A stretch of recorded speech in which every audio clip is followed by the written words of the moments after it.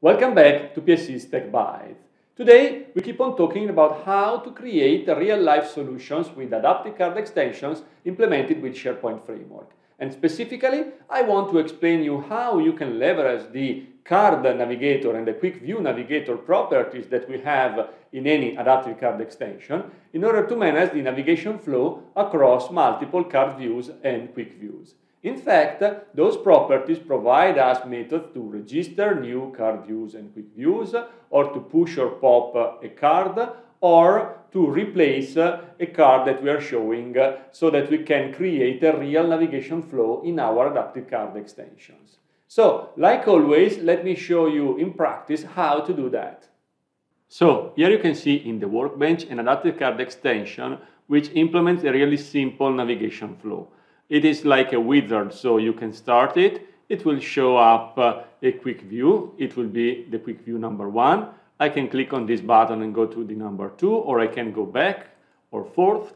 I can go to the three one. Of course, I can go eventually back to the second one, and I can click on finish and see another different card view for the end of my navigation wizard. How did I implement this uh, adaptive card extension? Well, the adaptive card extension itself uh, as the registration of all the uh, card and quick view IDs in the main code. And here in the OnInit, we register with the card navigator the two card views that we have. And with the key quick view navigator, the three quick views that we have in our solution. Notice that for every single ID, we define the mapping instance of the card view or quick view object that we have in our solution.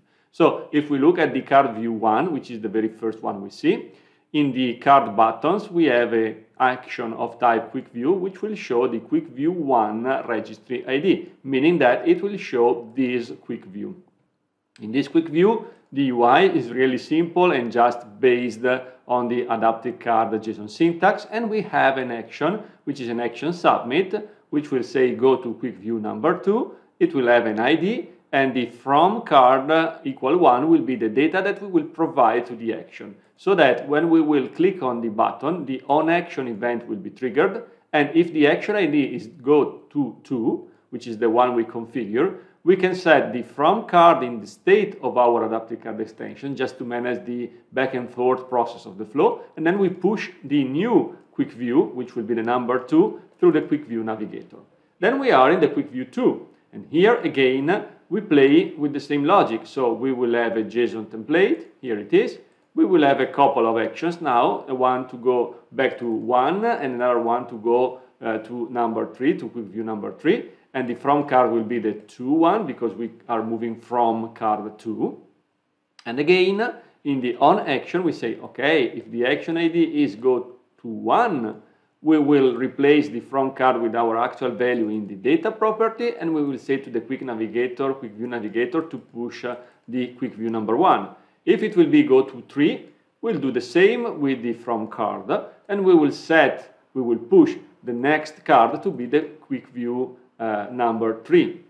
In the three one, again and one more time, we can manage in the on action if we need to go to number two or to finish if we go to number two, we will push the ID of the card number two. And of course, uh, in the JSON, we will have two additional actions.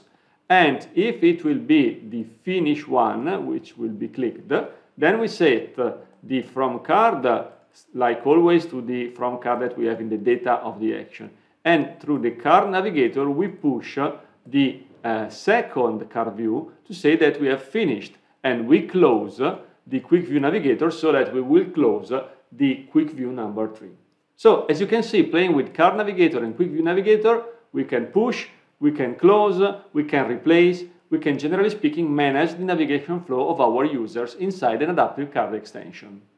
Thank you for watching this video. I hope you found it interesting and I'm really looking forward to seeing you next week. And remember, subscribe to this channel. Thank you.